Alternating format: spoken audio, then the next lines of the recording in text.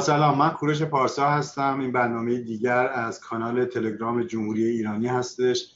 مهمان امروز ما آقای پرویز نویدی هستند ایشون قبل از سال 51 که زمان محمد رضا شاه که دستگیر شدن و به زندان افتادن از سال 50 با جریان چریکای فدایی خلق کار می‌کردن. بعد از انقلاب ایشون و پنج سال زندان زندان بودن در زمان شاه. بعد از انقلاب ایشون به اصطلاح با جریان فدایی ها بودن. زمان انشاب فداییان اقلیت و اکثریت تبدیل ایشون با جریان اقلیت بودن که موضع به صافی نسبت به نظام جمهوری اسلامی داشت. بعدها از جریان اقلیت جدا شدن. در چند سال گذشته پروسه وحدت دوستان فدایی در این پروسه وحدت ایشون با جریان 16 آذر و فداییان اقلیت بخششون اتحاد فداییان رو درست کردن بنیانگذاری کردن و اخیرا هم که فداییان از نهله های مختلف حزب چپ ایران رو بنیانگذاری کردن. ایشون هم در اون پروسه شرکت داشتن و از اعضای هیئت سیاسی حزب چپ ایران هستن در حال حاضر. حزب چپ ایران توی پرانتز فداییان خلق. آقای نویدی سلام عرض می‌کنم. سلام عرض می‌کنم خدمت شما. تشکر می‌کنم از این دعوت و از این فرصت که با هموطنان عزیزمون در اقصانقات دنیا بتونیم یک گفتگویی داشته باشیم. آقای نویدی با توجه فعالیت نزدیک به شاید پنجاه سالی که در عرصه سیاسی داشتین و دارین در حال حاضر شما اوضاع سیاسی کشور رو و وضعیت جنبش های اجتماعی رو چگونه چطوری ارزیابی می‌کنید؟ بله ما البته در هر مصاحبه ای که تا حالا بوده هر کدوم از ماها از اپوزیسیون راجع به جمهوری اسلامی وقتی صحبت می‌کردیم و وضعیت از نابسامانی و بحران و تورم و وضع خراب مردم سرکوب کشتار همینا صحبت می‌کردیم همیشه. گذاف هم نمی‌گفتیم به طور واقعی همینطوری بوده این جمهوری اسلامی از زمانی که به قدرت رسید به تارمار نیروهای دگراندیش حالا اونایی که دیگه اپوزیسیون کم سفت و سخت بودن که زیر تیغ اولیه قرار گرفتن. ولی به طور عموم همه کسایی رو که تفاوت نظری هم باش داشتن از دم تیغ گذرونده و از نظر اقتصادی هم این وضعیت مملکت ما رو به واقعا یه ورشکستگی کشونده. اما امروز از خرابی که صحبت بکنیم از وضعیت ایران قابل مقایسه با چند دهه گذشته نیست. به طور واقعی به یه افلاسی رسیده این جمهوری اسلامی. و وضع مملکت وضع اقتصادی مملکت همونطور که اطلاع دارید الان کاملا خوابیده. حالا این تحریم ها هم که بدتر از بد خواهد کرد وضعیت رو متاسفانه. یعنی این شرایطی به وجود اومده برای مردم که زندگی روزمره دیگه قابل دوام نیست الان. مردم به طور واقعی با گرسنگی و فقر با فساد و فحشا و اعتیاد در ابعاد نجومی الان روبرو هستیم ما. و اینه که اوضاع بسیار بسیار داغونه در مملکت. و به همین دلیل ما می‌بینیم که در این چند دهه گذشته وقتی که حکومت به توجهی به وضعیت مردم نمی‌کرد و این دیکتاتوری لزام گسیخته ای رو که در جامعه برقرار کرده بود اجازه نمی‌داد که مردم بتونن حرفشون رو بیان بکنن ما با یه انفجاراتی همیشه روبرو بودیم. و به همین دلیلم در بخشی از نیروهای درون حکومت یک فکر به عنوان قرائتی دیگر که آقای خاتمی فرمولش کرد پیش اومد که آقا دیگه نمیشه به این شکل جامعه رو ادامه داد. برای اینا خودشون می‌دونستن که روی چه آتش فشانی نشستن و چه بلایی بر سر این مردم آوردن. بنابراین در بخشی از این حکومت برای حفظ این حکومت برای حفظ این حکومت راه حل دیگری ارائه می‌شد که به اصلاح طلبی معروف و این وضعیت خب امیدهایی رو در بخشی از نیروهای روشنفکر و در بخشی از مردم به وجود آورد که شاید از این طریق بشه این حکومت اصلاح بشه.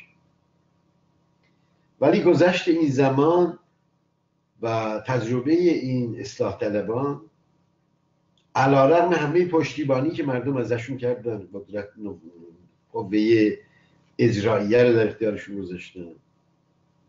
قوه مقننه رو در اختیارشون گذاشتن. مجلس رو در اختیارشون گذاشتن. در شهرهای مختلف شهرداری ها و نمی‌دونم اون انتخاباتی که انجام گرفت در گوشه کنار کشور همه جا این اصلاح طلبان بودن که می بردن و این انتخابات به یک کابوسی هم تبدیل شد برای ولی فقیه برای سپاه برای اطرافیانش برای نیروی اصولگرا ولی متاسفانه اینا هم نشون دادن که نیرویی که به اتکای مردم بخوان تغییر ایجاد بکنن نیستن. و اصولا در چارچوب این قانون اساسی جمهوری اسلامی هم امکان چنین تغییری به این معنا وجود نداره. من منکر نیستم که در نتیجه مبارزات مردم بشه حکومت ها رو ولی ولو هر چقدر دیکتاتور مثل جمهوری اسلامی به عقب نشون برای خواسته های معین. و اتفاقا برای اینا باید مبارزه کرد. اینا خواسته های آنی مردم و زحمت کشان برای بهبود زندگی اینا بایستی از هر نوع تحولی از هر نوع تغییری تلاش کرد. ولی برای اینکه بشه جامعه رو از این مخمسه از این اختاپوس جمهوری اسلامی از این دیکتاتوری نظام گسیخته بیرون برد امکان این در درون رژیم جمهوری اسلامی نشون داد که وجود نداره. و هرچه ما جلوتر اومدیم جامعه ما در بحران عمیقتری فرو رفت. یک دوره دوره هشت ساله جنگ بود که اون ویرانی ها رو به وجود آورد. اون قربانی ها رو به جا گذاشت. این معلولین رو به وجود آورد. وضع اقتصادی مملکت رو داغون کرد. بعدش اومد به سازندگی درگیری های درونی خودشون شروع شد. چپاول ها و غارت دیگه شروع شد در حدی که اصلا به گفته نمیاد. من یه چیزی به شما بگم آقای بازرگان یه جا روایت کرده بود که در اون اوایل انقلاب تو مجلس یه بودجه ای رو می‌خواستن تصویب کنن. صحبت از این بود که برای این بودجه چند میلیون مثلا بایستی تومن خرج بشه هزینه بشه. یکی از آخوندا که بغلش بوده میگه آقای مهندس این میلیون چقدره؟ و بازرگان میگه که من خب دیدم به این نمی‌تونم بفهمونم میلیون چقدره. گفتم آقا از زمان به سطح پیغمبر تا حالا میلیون روز نشده شما حالا حساب کن ببین چقدر ولی امروز همین آخوندهایی که کلمه میلیون رو اصلا نمی‌تونست بفهمه چیه؟ به کمتر از میلیاردها برای دزدی و فساد خودشون و آقازاده هاشون قناعت نمی‌کنه. یعنی وضعیت مملکت رو به اینجا رسوندن. با تمام دنیا درگیر شدن.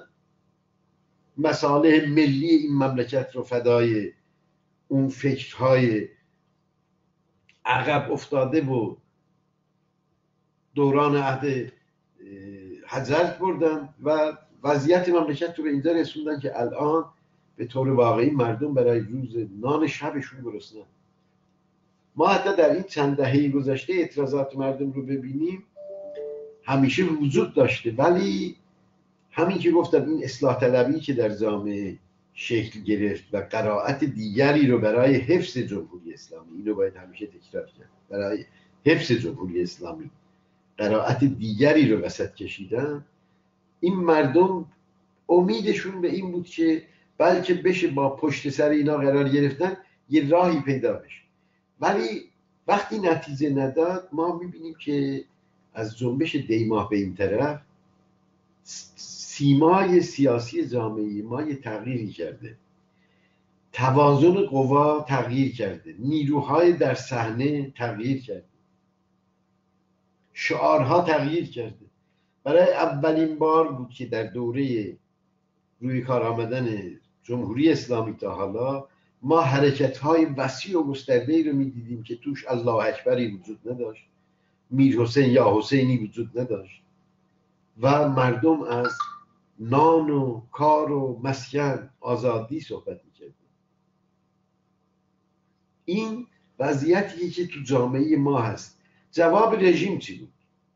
رژیم امکانات و ظرفیتی برای حل این بحران نداره. جز سرکوب.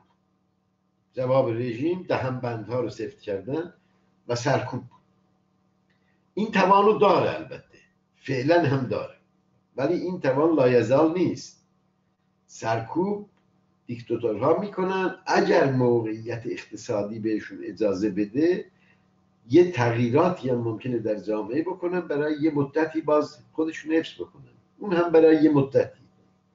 ولی جمهوری اسلامی هیچ امکاناتی امروز برای پاسخ گفتن به این نیازهای مردم. یعنی اون ریشه های اصلاح مسئله رو بتونه بهش دست بزنی اصلاحی بکنه درش نیست نه ارادهشو داره و نه توانشو داره. بنابراین الان همه در جستجوی راه حلی خارج از این رژیم هستن. ولی خب رژیم می‌خواد که به سرنیزه تکیه کنه. و چند سباهی هم به حیات خودش ادامه بده. و از بسیار فلاکت باره وضعیت رژیم از همه فلاکت بارتر و می‌دونید این سرکوب هایی هم که انجام میده از یک طرف به دلیل اینکه نمی‌تونه به ریشه مسئله دست بزنه و تغییری به وجود بیاره این مردم رو برای حرکت بعدی وسیعتر آماده می‌کنه تندتر و رادیکالیزه می‌کنه جنبش. از طرف دیگه شکاف میندازه تو خودشون. یعنی در پاسخی که داره داده میشه همه رژیم یکسان نیستن. الان خیلی از این حکومتی ها ببینید گفتمانشون تغییر کرده. عبور از جمهوری اسلامی رو اونهایی که توشون پیش تازن الان دارن مطرح می‌کنن. یعنی به این نتیجه رسیدن که دیگه نه با اون قرائت قبلی و نه با این قرائت امکان این که بشه این وضعیت رو به یه آرامشی کشون وجود نداره. بنابراین راه حل رو در این می‌بینن که وضع بره. من البته اینجا یه مقداری رفتم توی موضوع حکومت صحبت کردم ولی خب شما بیشتر وضعیت جامعه رو می‌گفتید. می‌خوام بگم که از اون زمانی که دیماه به حال به بعد علا رغم این سرکوب ها حرکت ها و جنبش ها ادامه پیدا کرد. حرکت های کارگری بی سابقه است در این جمهوری اسلامی در این عباد و در این سازمان یافتگی بزرگترین خوشبختی و بزرگترین دستاورد در جنبش کارگری اینه که آگاه شده به این که بدون تشکر بدون اینکه سازمان بده خودشو ره به جایی نمی‌بره. از این فراتر آگاه شده به این که اگر نیروهای دیگه اجتماعی به کمکش نیان و این به کمک اونا نره نمی‌تونن. به همین دلیل هم شما می‌بینید که در این اعتراضات از دانشجوها می‌خوان ازشون پشتیبانی بشه الان جنبش های مختلفی که وجود دارن دارن در جهت پشتیبانی و اتحاد با هم دیگه پیش میره این مسئله بسیار کلیدی است برای اینکه بتونه این وضعیت رو از این چنبره ای که هست خارج بکنه. واقعیت اینه که این حرکات این خواست ها الان با مسائل سنفی شروع میشه. ولی بلا فاصله تبدیل میشه به این موضوع سیاسی. برای اینکه گفتم رژیم نمی‌تونه هیچ پاسخی بده جز سرکوب. و سرکوب حرکت رو متوجه خود رژیم می‌کنه و تمامیتش. و بنابراین دیگه الان صحبت از این نیست که اصلاح طلبی مخالف سرکوب باشه یا نه. آقای دولت روحانی دولت آقای روحانی خود در رأس سرکوب کارگرا معلمی زنان و بقیه قرار بنابراین این وضعیته و این نشون میده که اینها وقتی منافع نظامشون در خطره یا متحد میشن مثل بخشی که دارن الان میشن یا کنده میشن ازشون ریزش می‌کنن. که من امیدوارم که این ریزش هرچه بیشتر باشه. بله. خب در ارتباط با چون به هر صورت شما از حزب چپ ایران هستین در ارتباط با وضعیت تشکل بخشای کارگری و این سندیکاهای مثلا مستقلی که وجود داره تا حالا. آیا شما می‌بینید که در یک پروسه این سندیکاها به یک سندیکای سراسری مستقل نیرومند در کوتاه مدت یکی دو سال آینده تبدیل بشن یا اینکه همچین زمینه فعلا وجود نداره؟ ببینید من اینو می‌بینم که به طور عملی و عینی اینا در حرکت خودشون تجربی به این رسیدن که بایستی چنین اتحادی رو به وجود بیارن. ولی در زیر سیطره دیکتاتوری امکان این که سندیکاها با هم جمع بشن یه اتحادیه رو به وجود بیارن طبیعتا وجود نداره و با سرکوب شدید و خشن روبرو میشه. حتی همین الان در یه جای مشخصی به شکر مثلا فرض کنید تپه یک سنین حرکتی میشه بلافاصله سران این جنبش می‌بینیم دستگیر میشن شکنزه میشن و زیر شدیدترین فشارها قرار می‌گیرن بنابراین رژیم با سرکوب و اختناق مانع از اینه که اینها بتونن با هم دیگه پیوند تشکیلاتی بخورن و بتونن یه تشکیلات مستقل سراسری به وجود بیارن. ولی این ضرورت هم وجود داره و هم امکاناتی الان خوشبختانه به وجود اومده که به لحاظ به ارتباطات مجازی این اجازه رو میده که این جنبش ها و این حرکات با همدیگه پیوند برقرار و اینجا این وظیفه بسیار مهمی وظیفه بسیار مهمی برگردن همه ماها هست. ماهایی که ادعای روشنفکری هست می‌کنیم. ماهایی که اپوزیسیون هستیم. به ویژه جوانانی که در ایران دانشجوها که به این مسائل بسیار آگاه هم واقف هم و دارن اساسی هم کار می‌کنن که بتونن این حرکات اجتماعی رو به همدیگه وصل بکنن. یعنی یکی از وظایف اصلی ما اینه که این جنبش ها رو تا اونجایی که در توان داریم با تمام امکاناتی که وجود داره به همدیگه وصل بکنیم. اگر حتی اون اتحادیه اون سندیکای سراسری نتونه به لحاظ فیزیکی شکل بگیره دفتری داشته باشه ولی به لحاظ هماهنگ کردن این حرکت ها این زمینه ها وجود داره و ابزار و ادواتی هم امروزه خوشبختانه وجود داره که دیگه دیکتاتورها اونا رو هر سقدرم تلاش می‌کنن از افتش بر خب با توجه به این تحلیلی که دادی حالا به طور کلی شما چشمانداز یکی دو سال آینده رو یا میان مدت کوتاه مدت و میان مدت رو از لحاظ احتمالاتی که وجود داره چی می‌بینید ببینید با قاطعیت نمیشه گفت که روندها به کجا میره. همونطور که شما دقیق سوال کردید با محتمل ترین چیزها میشه بر اساس داده هایی که وجود داره. گفتم از اونجایی که این رژیم هیچ ظرفیت و توانی برای حل این بحران نداره و عمدتا به سرکوب متوسل میشه. و از اونجایی که ریشه این مسائل در جامعه در این فقر در این وضعیت اقتصادی است تمام پارامترها نشون میده که این وضعیت اقتصادی و این فقر نه تنها بهبودی در این آینده ای که شما میگید حتی یک سال دو سال آتی نخواهد به خودش دید بلکه تشدید هم میشه. یعنی الان این وضعیت تحریم هایی که وجود داره که خب متاسفانه دودش به چشم مردم میهن ما میره هموطنانمون. ولی بالاخره کمر این حکومت رو هم میشکنه. یعنی اینها از هیچ امکانی الان برخوردار نیستن که بتونن جامعه رو به یک آرامشی یک کم بکشونن اصلاحاتی از نظر اقتصادی انجام بده. به همین دلیل شما الان نمی‌بینید که مرد میدانی از اینا بیاد وسط و بگه که با این اقدامات با این اقدامات اوضاع رو درست خواهیم کرد. ممکن هستم میگن خبری نیست. آقای روحانی چندین بار میگه والا بحرانی در کار نیست. ولی خب یه بجز خنده جوابی برای ایشون وجود نداره که بحرانی در کار نیست ولی این وضعیت مملکت رو ما می‌بینیم و این سقوط وحشتناک ریال در مقابل ارزش های به پول خارجی که فقط مسئله ارزش پولی نیست.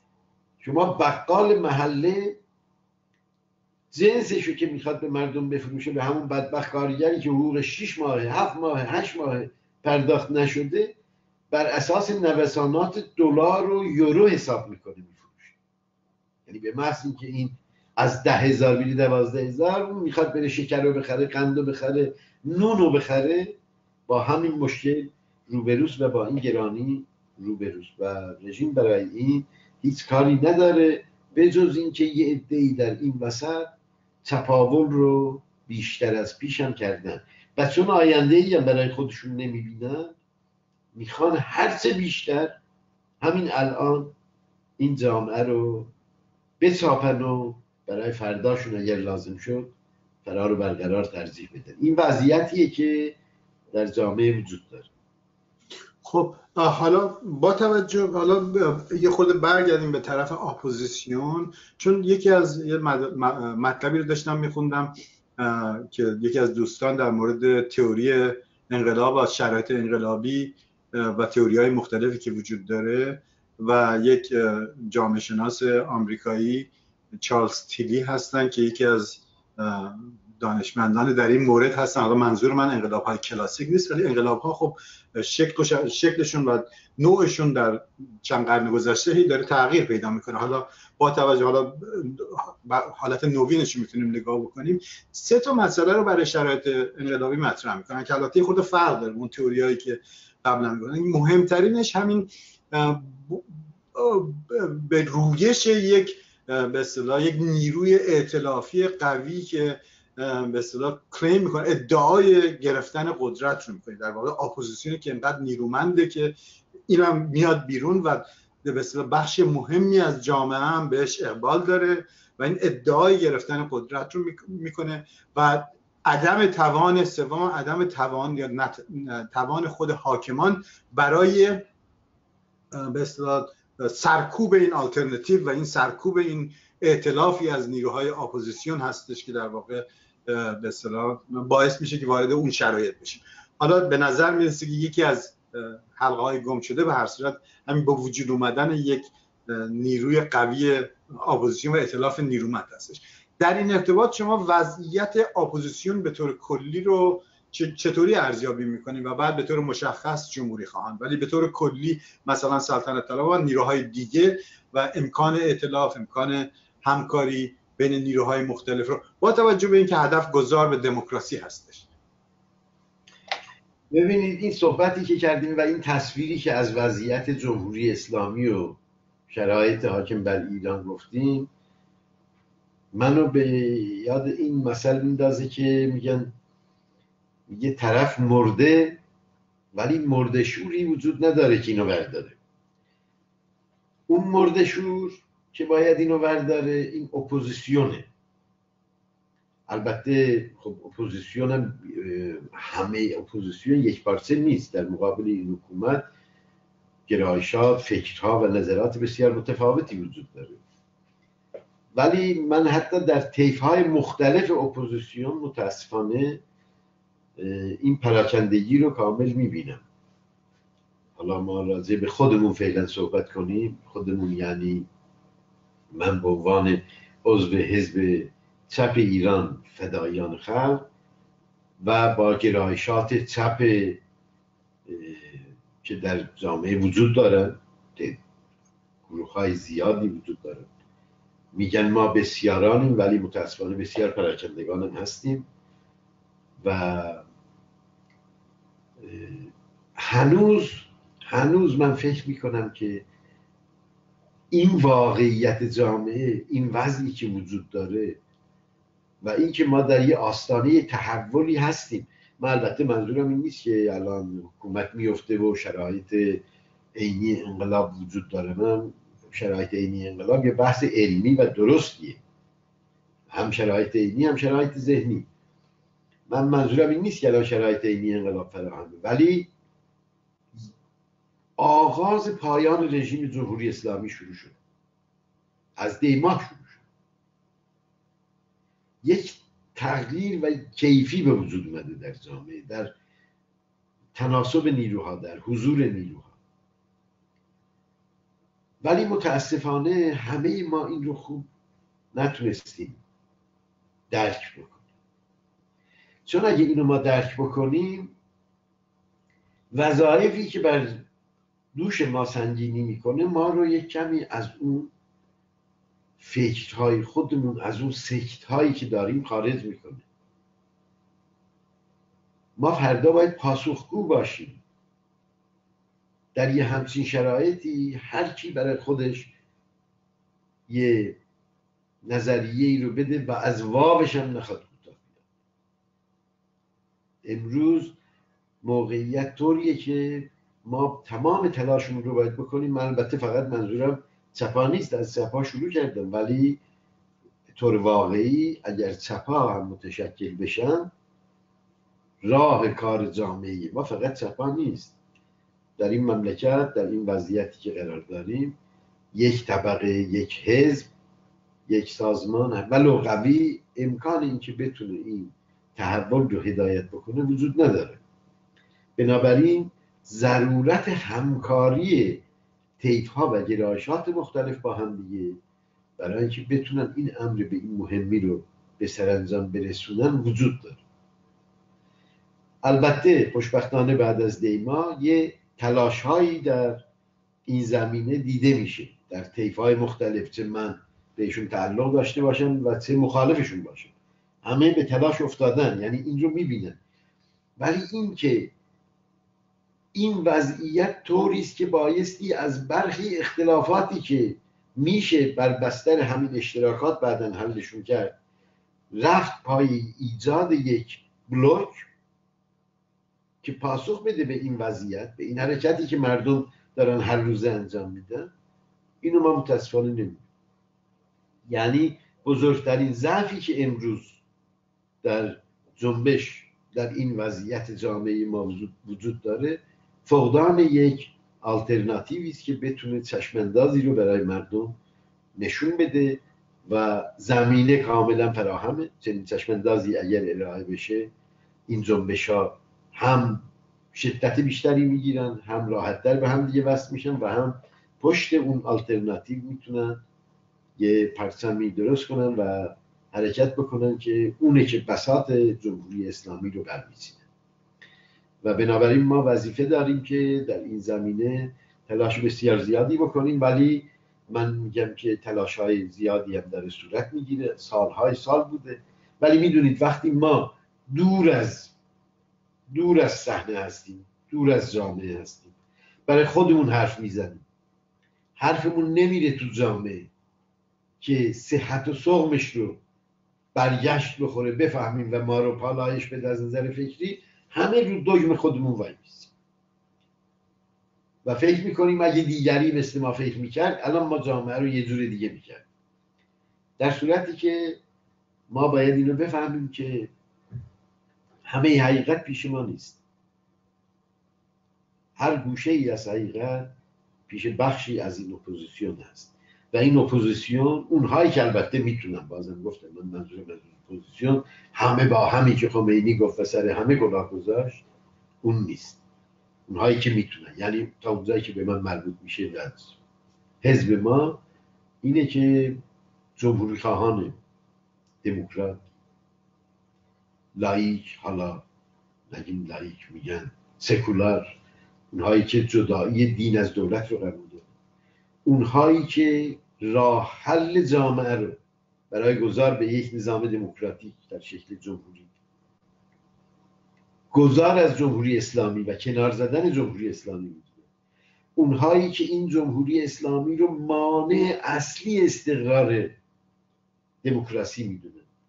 جمهوری اسلامی رو با همه گرایشاتش باز اینجا یه تأکیدی بکنم حرف من این نیست که اگر کسی در اونجا بوده و امروز به این نتیجه برسه که آقا راه حل جدایی دین و دولته و این چیزی که در جامعه ما شکل گرفته و جامعه رو سالیان سال به عقب برده بایستی کنار زده بشه قدمش روی چشم.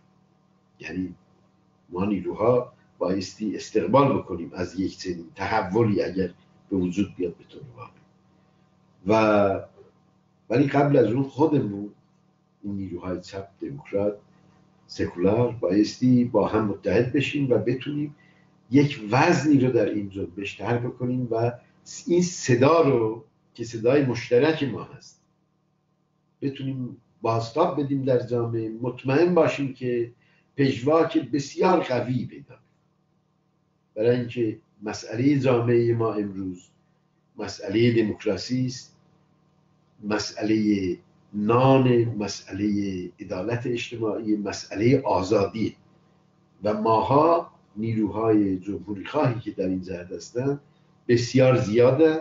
در داخل این نیرو بسیار قویه ولی پراکنده و باید برای متشکل کردن اینها اول اونهایی که این امکان رو دارن که با هم گفتگو بکنن حتی بعضی جاها گفتگوها وجود نداره اینا رو باید راه انداخت و به این وظیفه آگاه شد و روزی پاسخگو باید باشیم. این رو من خیلی جدی می‌فهمم و فکر می‌کنم که هر نیروی باید به این مسئله فکر بکنه آیا باید امروز در رابطه با فکر خودش در اصرار بر واو کلماتی که به کار می‌بریم بکنه یا اینکه بایستی روی اون خواستای عمومی البته گفتم همه با هم منظورم نیست بره جلو. حتی همه جمهوری خواهانم با هم نیست.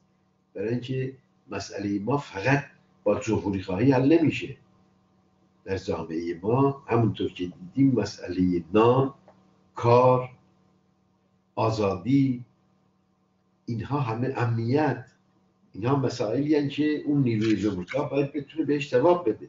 یک موضوع دیگه مسئله جامعه ما امروز ما برای جامعه مسئله درست نمی کنیم ولی وظیفه داریم مسائلی رو که در جامعه هست ببینیم. ولو اینکه خوشمون نیاد.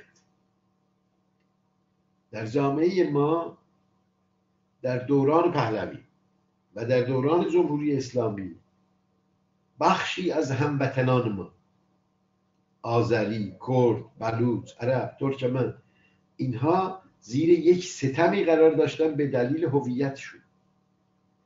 ما اگه نتون امروز این خواست یک مسئله بسیار مهمیه. ما می‌بینیم اینو. ما اگه نتونیم نیروهای دموکراسی جمهوری نتونه به این مسئله پاسخ دموکراتیکی ارائه بده مطمئن باشیم که پاسخهای ضد دموکراتیک حتی فاشیستی وجود داره. زیر پرچم حفظ تمامیت ارزی نباید منکر حقوق اینها شد. اتفاقا برای حفظ تمامیت ارزی که من عمیقا بهش معتقدم باید تلاش بکنیم بایستی حقوق برابر این هموطنان تعمین بشه. حقوق ملیشون ملیتیشون ضمن که ما ملت ایران هستیم مجموعمون ولی یک همچین وضعیتی در جامعه ما وجود داره که اینا مسائلیه که اون اپوزیسیون بایستی بتونه روش کار بکنه. بله. خب حالا با توجه به اینکه هدف کلی همونجور که خودتون مطرح کردین concept ایده همه با هم طبعا کار نمی‌کنه. چون که اگر همه با هم بود خب با مجاهدین و با یک سری نیروهای دیگه که حتی حاضر قائل به حضور نیروهای دیگه نیستن حاضر به گفتگو با نیروهای دیگه نیستن و تازه از لحاظ راهبردی و سیاست ورزی و موازی که دارن می‌گیرن خب یک اختلافات عمیقی وجود داره. نیروهایی که خواهان عبور از جمهوری اسلامی با اتکا به نیروهای خارجی و استفاده از حربه تحریم و حتی شاید بعضا جنگ و این چیزها باشن در صورتی که نیروهای ملی دموکرات چپ خب بیشتر قائل به اتکا به خود مردم ایران و تغییرات درونزا و با اتکا به جنبش اجتماعی هست. این راهبردهای متفاوت حتی ممکنه در جمهوری خواهان هم یک سری همچین گرایشاتی وجود داشته باشه. در نتیجه خب مشخصه که این اعتلاف ها بخشن بر اساس راهبرد و مثل راهبردهای مشترک و یک سری مواضع سیاسی به نزدیکتر و هم شکل می‌گیره. و از این نظر و از طرف دیگه گاهن مواضعی که بعضی از این نیروها افراد و اشخاص و سازمان ها می‌گیرن خب درجه تعهدشون به دموکراسی رو هم و گذار به دموکراسی رو و خود کانسپت دموکراسی رو یه مقدار زیادی زیر سوال می‌بره. در نتیجه من سوال من اینه که با توجه به این به تفرقه ای که وجود داره یک بخشی که شما مطرح کردیم بلوک ها باید به وجود بیاد. برفرض یک بلوک جمهوری خواهی به وجود بیاد که به اصطلاح راهبردش به حزب چپ ایران بسیار نزدیک باشه. این بلوک چجوری مناسبات خودش رو با نیروهای دیگر به نظر شما باید تنظیم بکنه؟ مثلا سلطنت طلب. خب سلطنت طلب ها یه بحث متفاوتیه کمی نسبت به مسئله جمهوری خواه برای اینکه سلطنت طلب اولا خب حالا سلطنت طلب داریم تا سلطنت طلب اونا هم اینطوری نیست که چون سلطنت طلب همه پشت رضا پهلوی باشه یه بخش سلطنت طلبایی هستن که اگه بشه گفت بازها اونا اونایی که همون دوران محمد رضا شاه رو دنبالش هستن.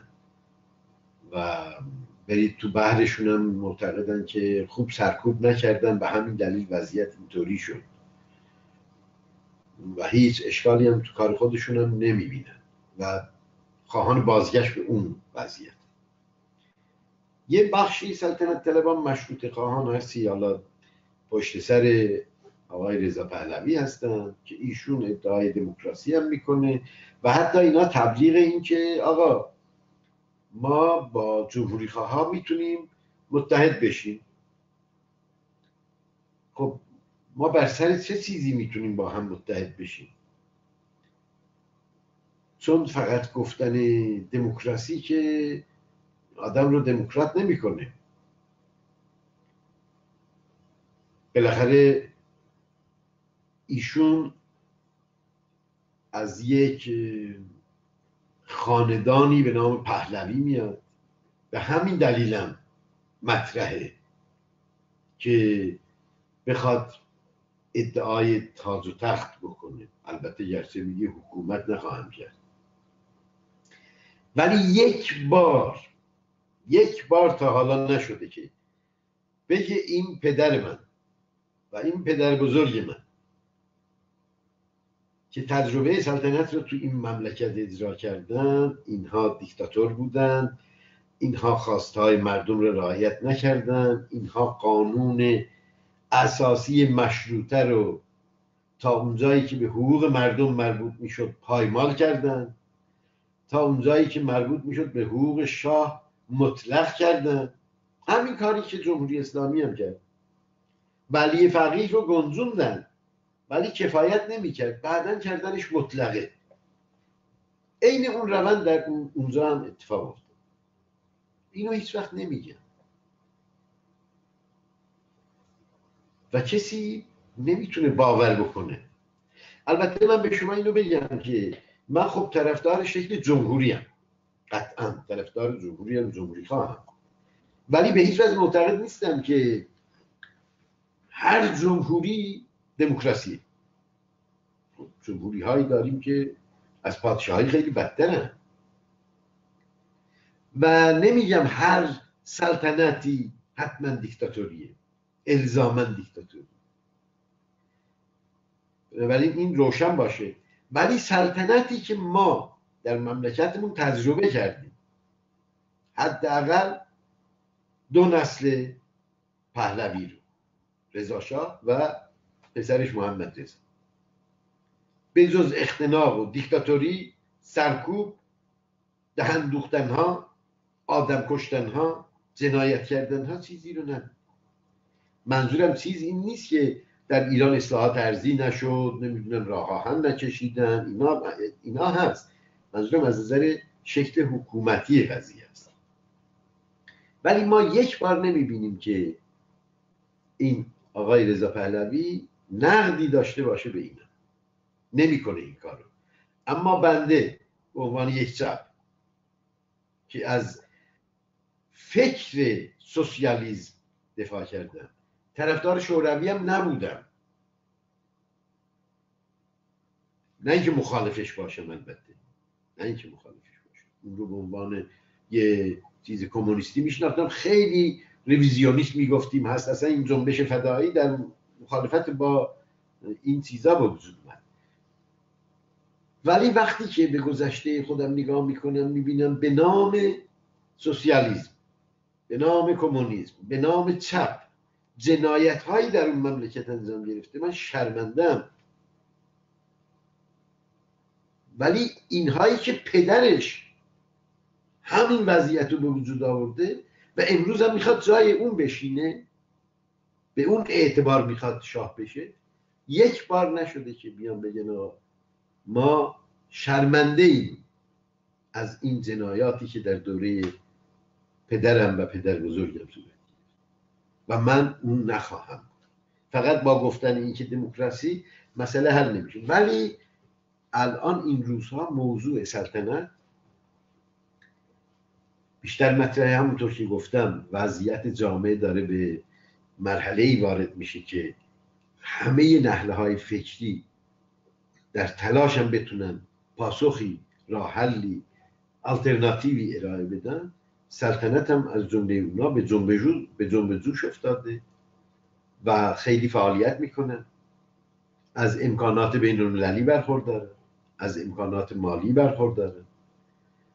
مدیاها خیلی سریع با اونها حاضرن همکاری بکنن لانسه بکنن و بدتر از همه اینها در مقابل آدمی مثل ترامپ که تهدید می‌کنه مملکت رو به اینکه بمبارانش بکنه جنگ راه بندازه می‌خوان که آقا بکنی کار سریعتر بکن بنابراین طبیعی که با این نیرو ما نمی‌تونیم. ولی ولی اینو بگم.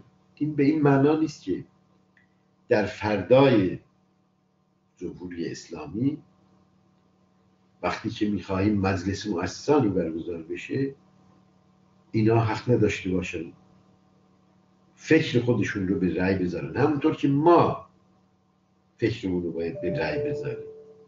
کسی نمی‌تونه از بالای سر قانون عقنه بکنه اون کاری که خمینی کرد. ولی ما مبلغ جمهوری هستیم. در مقابل سلطنت. برای این کار نمی‌تونیم با هم متحد بشیم هرگز. اما برای خواستهای معینی که آزادی زندانیان سیاسی باشه طبیعتا همسویی هایی وجود داره.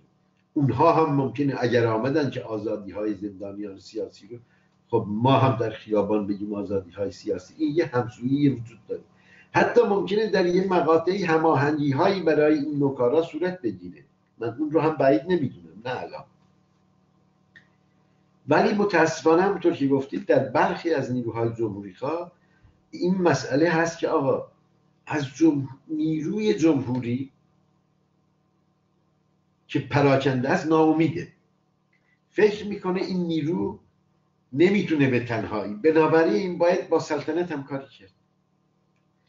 و این نیرو جمهوری خواه خودش. سلطنت طلب نیست. ولی میگه باید رفت این کار. کرد من به این دوستان و به این رفقا هم میگم که اگر چنین کاری باید صورت بگیره در آینده وظیفه شما و ما اول اینه که کمپ خودمون رو متشکل بکنیم تا بتونیم وارد همچین میدانی بشیم. نه اینکه کمپ خودمون رو ول بکنیم بریم به چسبیم به سلطنت و در اونجا حزم بشیم و خورده بشیم. اونجا یه نماد داره برای سلطنت طلبا و اون رضا پهلوی. هر چیزی که اونجا خرج میشه میره تو جیب این فکر. بنابراین این رو هر کسی که میره این کارو می‌کنه باید توجه بکنه. اگر قصد براشون این باشه که این دو نیرو با هم نزدیک بشن باید در جایگاه خودشون وایستن و اون کمپ خودشون رو قوی بکنن در حدی که بشه بتونه با اون در مقابل به عنوان یه رقیب طبیعتا. وارد گفتگو مذاکره بشه ببینه که در سه زمینه هایی اصلا میشه یا نمیشه.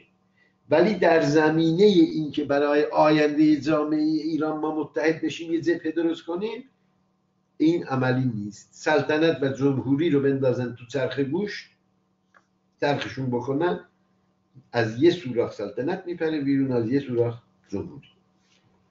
بله بله همونجوری که میگین رقابتی وجود داره در مورد خود محتوا و شکل نظام آینده ممکن یک سری اشتراکاتی هم وجود داشته باشه. در ارتباط با نیروهای قومی شما ارزیابیتون یا اتنیکی ارزیابیتون از به این توازن در بین اون نیروها از لحاظ اینکه چقدر فکر تجزیه اونجا مثل ریشه داره و چقدر به یک پارچگی ایران و تأمین حقوقشون البته ساختار غیر متمرکز و حقوق قومی خودشون حقوق شهروندی خودشون حق انتخاب انتخابات در منطقه خودشون یا در مناطقی که تو کشور هستش. جدا از همه اینا فکر می‌کنید چقدر؟ چون اخیرا 31 دسامبر یا 30 دسامبر یکی از اعضای بلندپایه حزب دموکرات کردستان در یک مصاحبه ای من ویدیوشو دیدم که اصلا البته فکر کنم یا استعفا کردن یا استعفا داده شدن نمی‌دونم. اسمشون هم یادم رفت متاسفانه. ایشون میگن که ایران در آینده به پنج تا کشور تقسیم میشه. خب این طبعا یک نگرانی های زیادی رو بین بخش های مهمی از مختلف جامعه به وجود میاره. ولی شما با توجه به درکتون که نزدیکتر هست و مثل آشناتر با این جریانات شاید باشید ارزیابیتون چی هستش؟ آیا واقعا این فکر تجزیه قالبه یا اینکه نه دوستان همون مثل آقای قاسملو که در چارچوب ایران ایران دموکراسی رو برای ایران می‌خواستن و با چیز خودشون با واژه خودشون خودمختاری رو برای کردستان. آیا واقعا این فکر قالب هنوز این هستش یا اینکه نه؟ تغییرات زیادی اتفاق افتاده و ما رو به یک جایی رسونده که نیروهای اصلی و مهم دیگه جدا از راهبرداشون که با آمریکا و اسرائیل و نمی‌دونم عربستان سعودی و مسئله پول و کمک مالی و نظامی همه اینا رو فعلا بگذاریم کنار. از لحاظ فکری فکر می‌کنیم کجا قرار داره؟ ببینید شما می‌دونید که این کردها بین چند کشور به حال تقسیم شده است. یک بخش در ایران کردستان ایران کردستان عراق سوریه کردستان ترکیه. تنها جریانات سیاسی کردی که خواهان حل مسائلشون در چارچوب کشورشون بودن در کردستان ایران. چه حزب دموکرات کردستان اون زمان اسمش کردستان بود. چه بعدا در دوره قاسملو بعدا زندیات قاسملو رو حزب دموکرات کردستان ایران اعلام کرد. و چه الان که دو بخش شدن دوباره. و همینطور کموله بخش های مختلفی داره. ولی اینها نیروهایی بودند که خواهان حل مسئله کرد و مسئله ملیشون در چارچوب کشور ایران. اصولا وقتی که طرح میدن فدرالیزم کسی که خواهان استقلال باشه فدرالیزم نمیگه. اسمش استقلال. مگر اینکه بترسه. که سیاست هم با ترس پیش نمیره. وقتی از فدرالیزم صحبت میشه یعنی خودشون رو یکی از فدرال های کشور فدرال ایران می‌دونن. من به عنوان رسمی احزاب سیاست های رسمی در هیچ کدوم از این احزاب که اشاره کردم اسمشون بردم مسئله جدا شدن و استقلال رو ندیدن تا حالا به عنوان سیاست در کنگرهشون در نظراتشون. حالا ممکنه یکی جدا بشه اخیرا هم یکی جدا شده که اصلا در سطح رهبری و اینا نیست. گفته من کاملا خواهان استقلال هستم خب می‌تونه افراد اینطوری هستن. ولی اینو بگم که بعد از وضعیتی که در عراق و اینا پیش رفت این گرایش به جدا شدن و به ویژه در ایران وضعیتی که متاسفانه نمی‌تونست امیدی در اینا ایجاد بکنه که ما می‌تونیم ایران دموکراتیکی داشته باشیم که درش حقوق این ملیت ها هم تأمین بشه این گرایش تقویت شد. ولی نه اینکه رهبری این احزاب یا برنامه احزاب عوض شده باشه. گرایش هست. الان نسبت به گذشته بیشتره. و اتفاقا اگر درست برخورد نشه به همین دلیل من هی تاکید می‌کنم ماها اگه نتونیم پاسخی دموکراتیک و درست نسبت به این مسئله بدیم پاسخهای نادرست کاملا وجود دارن و این گرایشات تقویت میشن.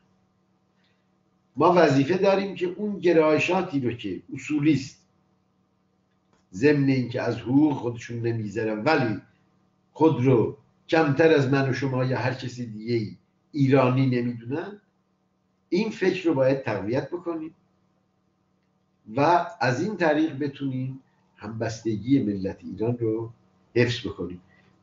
و اون گرایشات افراطی رو این رو من تنها راه می‌دونم. گرایشات افراطی. مثل تقویت هم شدن ممکنه که در حرکاتی که در آینده داریم بیشتر هم تقویت بشن یعنی عوامل مختلف بین المللی ممکنه که بازی کنن توی این ماجرا ولی ما باید حواسمون باشه که وارد این مسائل نشیم و اگر چنین اتفاقی بیفته برای ما فاضحه است که اینا بخوان مسئله جدایی رو پیش بکشن.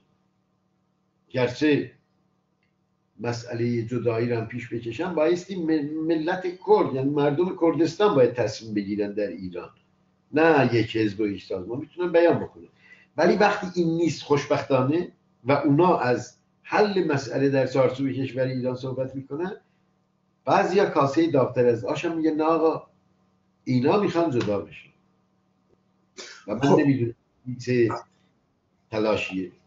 من من حالا نگرانی هایی که این ور اون چیزی که ما می‌بینیم در بیانیه‌ای که ده تا سازمان که عمدتا دو تا جریان حزب دموکرات و دو بخش کمله و سازمان های دیگری که شاید زیاد شناخته شده نباشند غیر از جریان سراسری چپ که وجود داره اونجا.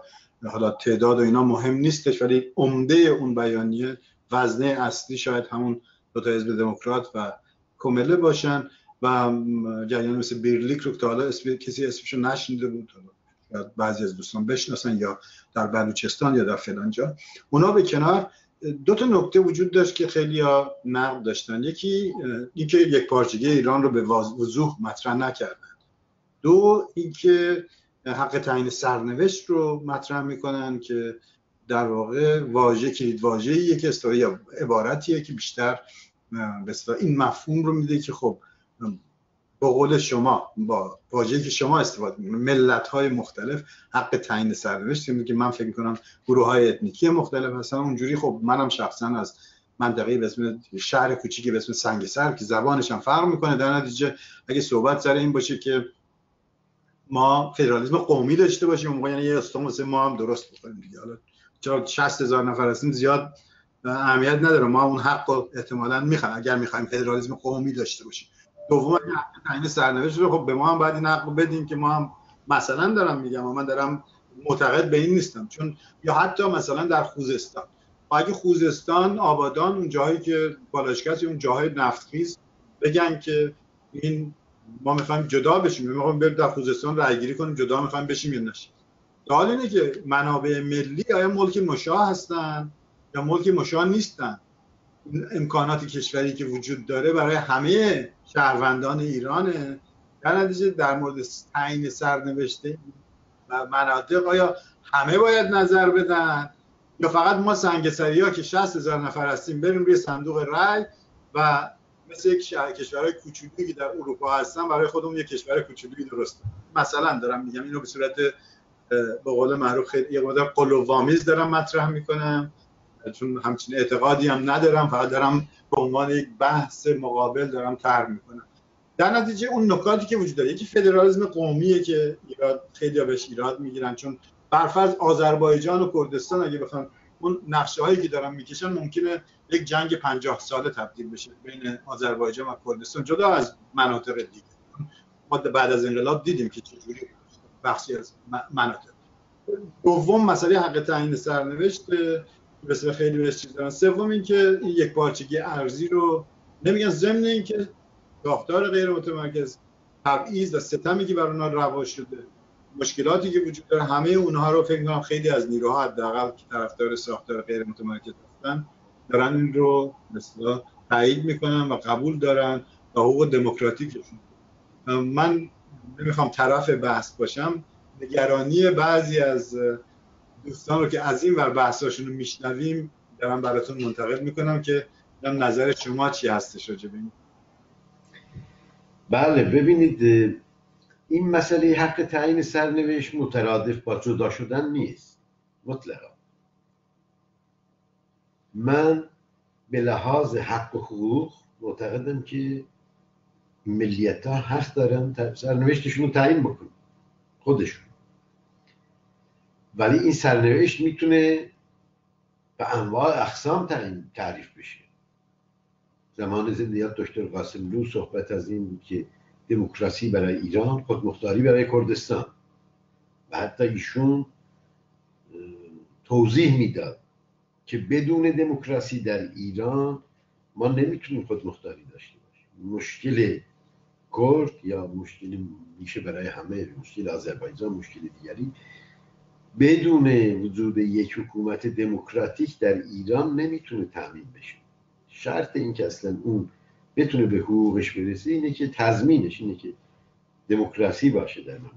این یک طرف. بنابراین حق تعیین سرنوشت وقتی میگیم می‌تونه مسئله خودمختاری باشه می‌تونه مسئله فدرالیزم باشه می‌تونه مسئله پایین تر از اینا حتی باشه. بسته به اینکه چه مسائلی در اون مملکت در اون منطقه هست. و خواست مردم اونجا چیه؟ و می‌تونه تحت یه شرایطی جدایی باشه. اینم می‌تونه باشه. بنده ای که طرفدار حق تعیین سرنوشت هستم از این حق دفاع می‌کنم به لحاظ سیاسی به شدت با حق تعیین سرنوشت به معنای جدا شدن مخالفم. و علیه اون تبلیغ. ولی اینجا باید یه چیز روشن باشه. هیچ احدی حق نداره. اگر در یک شرایط دموکراتیک چنین چیزی توسط مردم ادعا میشه خواسته میشه اونا رو بخواد سرکوب موضوع سر اینه. تمامیت ارزی با سرنیزه نمی‌تونه حفظ بشه. تمامیت ارزی با تفاهم با تأمین برابر حقوقی هست که می‌تونه اتفاقا خیلی ها ما رو متهم به این می‌کنن که آقا اینا تمامیت ارزی رو به خطر من از همینجا تمام کسانی رو که تمام فکرهایی رو که این حقوق رو به رسمیت نمی‌شناسن اصلا وجود چنین مسئله رو به رسمیت نمی‌شناسن بدترینش اینه. مثل ترکیه. می‌دونید در ترکیه می‌گفتن ها کرد وجود نداره. شما رو تو ماشین اگه بازداشت می‌کردن کرد بودی نگه میداشتن می‌پرسید کی هستی؟ کجایی هستی؟ می‌گفت کرد. می‌رفتید زیر شکنجه. باید می‌گفتید ترک کوهی هستن. ببینید. این دیگه بدترین شکلش. در کشور ما خب اینطوری نبود به این شکل. ولی از نظر اقتصادی از نظر فرهنگی از نظر سیاسی این ستم به اشکال گوناگون وجود داشت. حالا در مورد آذری ها در برخی زمین ها کمتر. من خودم آذری هستم. کمتر ولی در مورد کردها بیشتر. در مورد بلوچ خیلی بیشتر عرب ها خیلی بیشتر. عرب ها روی دریای نفت نشستن. ولی ببینید چه وضعیتی دارن ما نگران اینیم که یه روزی اونا بگن آقا این نفت مال ماست خدا شما ما رفتیم. ما باید نگران این باشیم که الان اونا دارن از گرسنگی میمیرن و روی نفتم نشستن. و کسی هم نمی‌تونه بگه آقا من رفتم نفت رو می‌برم. اون یه موضوع دیگه ایه. اون به نظر من یک حقوق بین الملل وجود داره. در اون مورد بایستی صحبت کرد. اینطوری نیست که هر بخشی جدا شد بگه آقا هر چی اینجا بود ما بردیم. خدا شد شما نگاه کنید الان انگلیس داره برکزیت می‌کنه ولی به این راحتی یقشو بلده می‌کنه. آقا اومدی وارد شدی کارهایی کردی. باید بپردازی. یعنی ولی خب برای برای پوشوندن این اصل ماجرا این نوع بحث ها رو وسط می‌کشم.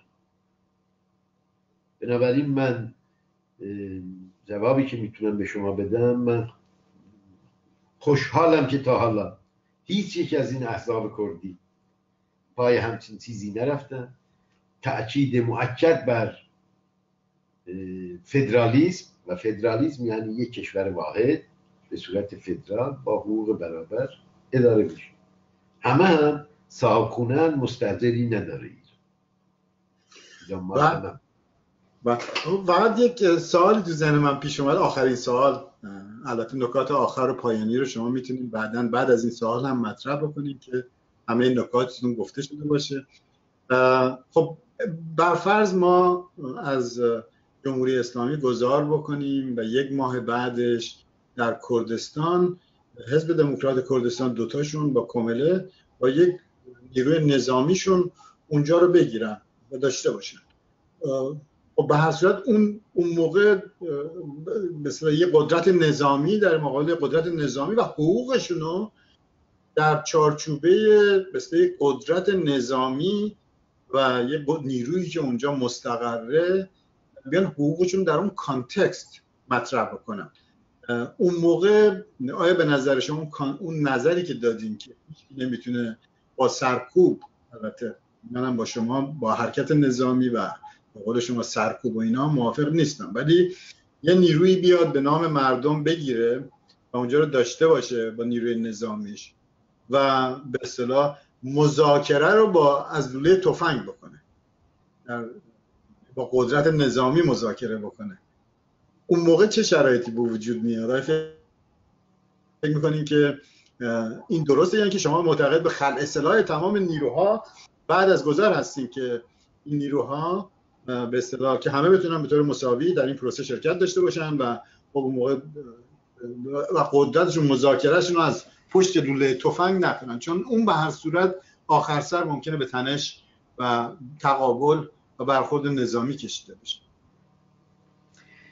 قطعا ببینید این سوال شما مبتنی بر یه تجربه تلخی که تو مملکت ما شکل گرفت.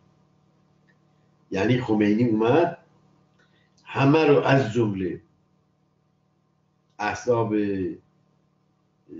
فعال سیاسی و به ویژه در کردستان حزب دموکرات کردستان ایران رو کنار گذاشت و همه با من رو در حقیقت همه با هم رو کرد همه با من و این وضعیت به وجود اومد. می‌دونید اون موقع حزب دموکرات نه اسلحه داشت نه نیروی عظیم چیز داشت. مردم بلند شدن. هنوز نه از آمریکا اسلحه اومد نه از فرانسه اسلحه اومد و نه از بحث عراق. مردم بلند شدن. رفتن پادگان ها رو گرفتن و مسلح شدن و شدن پیشمران حزب دموکرات کردستانی خب این سوال به این هست که ممکنه یه همچین اتفاقی بیفته. آری اگر فردای حکومتی بیاد که بخواد مردم کردستان و احزاب سیاسی اون رو مثل خمینی قلقم بکنه قطعا بدونید که ما با یک جنگ داخلی پیش خواهیم چنین حکومتی اگه باشه بنده هم علیهش بلند میشه. حتما. ولی اگر این حکومت حکومت دموکراتیکی باشه. من گفتم اینجا ایران ملک کسی نیست. اینجا صاحب خونه و مستظر نداره. چه دلیلی داره که حزب دموکرات کردستان ایران یا کوموله که در این تحولی که پیش میره شریک باشن؟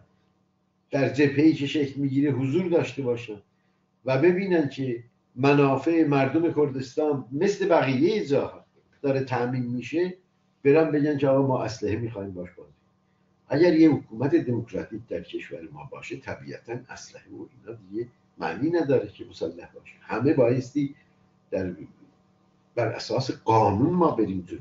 که عاشق اسلحه اگه کسی عاشق اسلحه باشه اون وقت تکلیفش باید روشن بشه. قطعا دادگاه ها تشکیل میشن و برخورد می‌کنن. ولی اگر یه حکومت دموکراتیکی باشه مطمئن باشید هیچ جای نگرانی وجود نداره که این احساب بلندشن بگه حالا اگر باز یه نفتی مفتی توی کردستان بود مثل کرکوک ممکن بود بگیم آقا اونا می‌خوان ببرن اونو مثلا خودشون بفروشن کردستان همچین وضعیت اقتصادیش هم اینطوری نیست و از نظر اقتصادی هم خیلی عقب مانده است. در حکومت آتی بایستی توجهات ویژه‌ای به این مناطق مرزی و به این مناطق ملی بشه که بتونه اون جبران بکنه اون وضعیتی رو که در گذشته. این نکته که گفتین که هممون صابخونه هستیم اینو می‌تونم من ترجمه کنم این که من سنگسری هم در مورد مثلا سرنوشت رز... دریچه رضایی همونقدر نگرانم که یک آذری هست. من سنگسری هم همونقدر نگران هستم در مورد این ملک مشاه هممون هست و در مورد وضعیت دریای خزر تا خلیج فارس با این چیزهایی که یا حتی چاهای نفتی و گازی منابع زیرزمینی نفتی و گازی که داریم این متعلق به تمام شهروندان ایران هستش.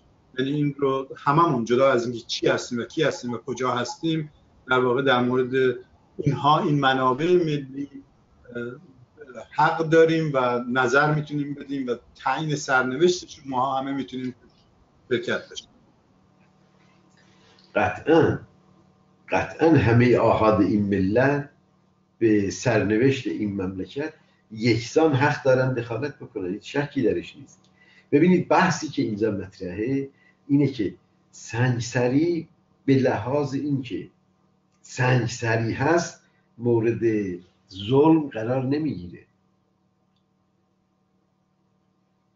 ولی کرد به دلیل اینکه کرد هست مورد ظلم هم قرار می‌گیره. مثل سنگسری زیر محمیز دیکتاتوری است سرکوبش می‌کنن حقشو می‌خورن. مثل تهرانی مثل سنگسری مثل آذربایجانی مثل ولی علاوه بر این به دلیل ملیتش میگن آقا تو این هویت رو حق نداری نشون موضوع اینه. من خدمت نرز کردم که در ترکیه طرف رو می‌گیره میگه آقا شما حق نداری بگی من کردم باید بگی من ترک کوهیم چرا نباید بچه های آذربایجان به زبان آذربایجانی تدریس بکنن به چه دلیل چرا کردها نباید این کارو بکنن چرا بلوچا نباید ولی همه ما باید به زبان مشترک این مملکتمون که زبان فارسی است. حرف بزنیم یاد بگیریم مکالمه بکنیم برخورد بکنیم. زبان مشترک ما زبان فارسی است. ولی هر بخشی حق داره به زبان خودش تدریس, تدریس بکنه و اون زبان رو هم اجباری فارسی رو بایستی یاد بگیر حالا به شوخی یا به جدی موقع در آذربایجان می‌گفتن که ما بچه بودیم. که اگر کسی به آذری یه نامه ای بنویسه و بیفته دست حکومت پنج تومن زریمش می‌کنه. البته پنج تومن شوخی بود. اگر کسی مینوشت کارش با جناب الکاتبین بود می‌رفت تو سواج که آقا تو کی هستی فلان؟ پنج تومن زریمه نمیشه ولی این ببینید چه توهینیه. مثل کاری که ترک ها با ارامه می‌کنن هم بله. یعنی تفاوت, تفاوت در اینجاست بله. خب یه نکته که بعضی از دوستان مطرح می‌کنن که جالبم هست میزان سرکوبی که وجود داره یه مقدار هم یه مقدار زیادی خب در بخش مختلفی که برفرست در سنگسر یک بخشی از جامعه باهایی هستش. خب طبعا اون بخش خب یک نوع سرکوب دیگه ای رو یا حداقل به از لحاظ حقوق اجتماعیش حقوق حق حیاتش حتی حق ابراز نظرش یک جور باهاش رفتار میشه تا یک کسی که سنگسری شیعه هستش و خیلی امام زمانی هستش. یا در کردها هم در کرمانشاه شاید میزان سرکوب شاید بخشن به خاطر شیعه بودن شاید اون احساس تعلق بیشتری وجود داشته باشه در کردستان به خاطر سنی بودن که حتی در تهران هم یه مسجد سنی وجود نداره. یا آذربایجانی ها و ترکای ایران عملا در ساختار حکومت جدا از چیزشون هستن و شریک هستن ولی کردها به خاطر شاید سنی بودن حالا ممکنه یکی دو تا داشته باشن ولی عمدتا شریک در این ساختار نیستن در ساختار حکومتی. ولی بخش های مختلف دیگه جامعه که شیعه هستن به راحتی در ساختار حکومت جا دارن و تا زمانی که به مثلا وفادار به ولایت فقیه باشن و نوع خاص شیعه البته که بخش دیگه که معتقد نیستن به این تئوری اینا اونا هم سرکوب میشن. ولی یه چیزی که به نظر من اومد شاید در فضای کلی زیاد البته به نظر من اهمیت داره ولی شاید اون نکاتی که شما مطرح می‌کنه از لحاظ به سرکوب فرهنگی سرکوب حتی مثلا یاد گرفتن زبونشون و اینها خب همه نکاتیه که خیلی مهم است در یک حکومت دموکراتیک. حتما فکر کنم بیشتر نیروهای دموکراتیک اینا رو قبول ضمن که بحث هست دیگه. یعنی نکته ظریفی که وجود داره شما مطرح کردین شما معتقد هستید که آموزش به زبان مادری باید انجام بشه احتمالا بر اساس امکانات.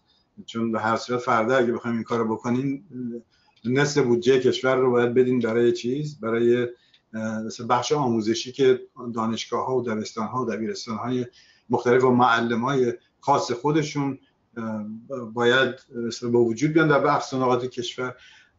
ولی آموزش زبان مادری رو کسی مناقشه باش نداره. ولی سر آموزش به زبان مادری یه مقدار بحث است در بین نیروهای مخالف که البته بحث خیلی خوب و مهمی هم هست باید انجام بشه فقط از لحاظ چیز مطرح کردم که این دو نکته آخر رو گفتم که شما صحبت های نهاییتون رو با اگر می‌خواین این, این نکات رو این نظراتتون رو بگیم و چیزهای دیگه ای که بحث های دیگه ای کردیم با اینکه ما الان تقریبا یک ساعت ده دقیقه است داریم صحبت می‌کنیم فکر کنم که اگر لطف کنیم صحبت های بله. نهایی بله منم فکر می‌کنم این بحث خب این موضوع برای سوء تفاهم نشه احتیاج هست که به طور واقعی مقدار جدیتر بحث بشه. یک دوم مطالبی رو که من در رابطه با مسئله احزاب ملی یا مسئله حق تعیین سرنوشت اینو مطرح کردم اینها نظر حزب چپ ایران فدایان خلق نیست که دارم بیان می‌کنم نظری است که در درون این حزب وجود داره که بنده یکی از طرفدارانش هستم ولی خب در کنگره ای که ما در پیش خواهیم داشت این مسائل مورد بحث قرار می‌گیره و بالاخره نظر حزبم تدقیق میشه در این زمینه. در نتیجه این صغرا ها بیشتر تاکید منه. ولی ببینید من یه چیزی بگم. اولا تدریس به زبان مادری اون هزینه ای رو که فکر میشه شما میگید نداره. من در کردستان بودم در دورانی که مناطق آزاد شده بود روستاها و اینا اکثرا توسط نیروهای پیشمرگه کنترل می‌شد اداره می‌شد. اونجا مدارسی در همه روستاها به وجود اومد. همه که میگم البته شاید اغراق باشه در مناطق که خیلی دور بود دانش آموزا بودن که می اومدن ولو خیلی کوچیک می اومدن در مثلا روستاهای بغل اطراف. ولی معلمینی بودن داوطلب از خود کردها و از پیشمرگه هایی که به این احساب پیوسته بودن و در اونجا مدارس رو دایر کردن کتاب ها به زبان کردی دایر شد و اینا درس میخوندن کلاس اول دوم سوم و بعد برخی از اینها که نمرات بالایی آوردن تشویق شدن و تونستن در برن خارج حتی بورس بگیرن در این همین فرانسه ما تعدادی از اینا رو الان داریم که اینا تونستن لیسانسشون رو بگیرن زبان فرانسه رو یاد گرفتن. یعنی اینطوری نبود که اونجا علکی هم درس می‌دادن. به طور واقعی این بود. می‌دونید وقتی که حرکتی در جهت منافع مردم و تأمین و حل این مسائل به شکل دموکراتیک باشه ما نباید نگران امکاناتش باشیم. همین مردم امکانات رو تأمین می‌کنن و این کار رو پیش می‌برن. ولی خب همونطور که میگید بحث هست به زبان مادری تدریس به زبان مادری یا تدریس زبان مادری.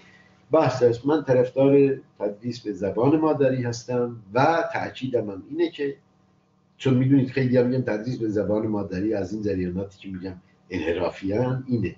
که اصلا میگه زبان فارسی هم نباید مشترک باشه. حتی بعضی ها به حدی میگن که میگن انگلیسی رو بیاریم. اینا آدمایی که خب من با اینا کاری ندارم ولی با جریانات جدی که روی این مسائل دارم برخورد می‌کنم فکر می‌کنم که این مسائل قابل حله.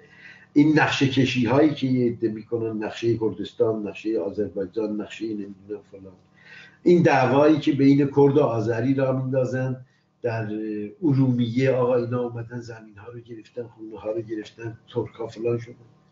اینها همون جریانات انحرافی هستند که تنها راه کنار زدن این انحرافات برخورد دموکراتیک به معضلاتی است که وجود داره. و ما موظفیم که خیلی مسئولانه و خیلی آگاهانه در این جهت پیش بریم. بعد یک حالات می‌دونم زمان اون چی شده ولی خب هر بحث مهمیه و نمی‌خوام سرسری ازش بگذاریم یک نگرانی که به ذهن من می‌رسه. روش مطالعه جدی هم نکردم. ولی شما اگر بازار داخلی خیلی اقتصاد نیرومندی توی کردستان برفرض نداشته باشید و جوونا رو تا مثلا تا مقطع دبیرستان و حتی مقطع دانشگاه به زبان به زبان فارسی رو حتما یاد می‌گیرم ولی سوال این هستش که در یک موقعیت بسیار بسیار به نظر من دیسادوانتج یا نابرابری در پیدا کردن کارهایی که به در بازار ملی وجود داره. زیاد مهم شاید نباشه. ولی من اگه فقط کردی بلد باشم فارسی هم بلد باشم ولی کردی من علمی باشه و توی سنندج باشم و امکانات مختلف شغلی برام به وجود نیاد و بعد بخوام برم در تهران در تبریز بخوام برم کار بکنم خب طبعا ممکنه دوچار یک سری نابرابری هایی بشم و نتونم اون کاری که به البته خب باید قوانین باشه که این رو باش بجنگه ولی خودمون می‌دونیم که در حتی در کشورهای دموکراتیک هم مثل تصمیماتی که گرفته میشه به بخش خصوصی و اینا یه مقدار زیادی به فرهنگ و یه مقدارم به یعنی اول میگن آقا شما این مهارت ها رو داری یا نداری؟ یک. دومین مصاحبه که می‌کنن اینه که خب این جمع ما می‌خوری یا نمی‌خوری؟